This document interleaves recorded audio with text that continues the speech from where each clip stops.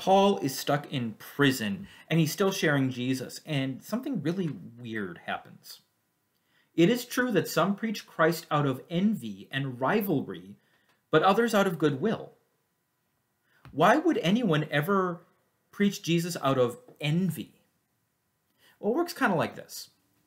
I want you to imagine that uh, your church is doing really well and the church next door is not. And someone from that church comes over and visits your church and sees, oh, look at all this cool stuff that they're doing. I want to do that.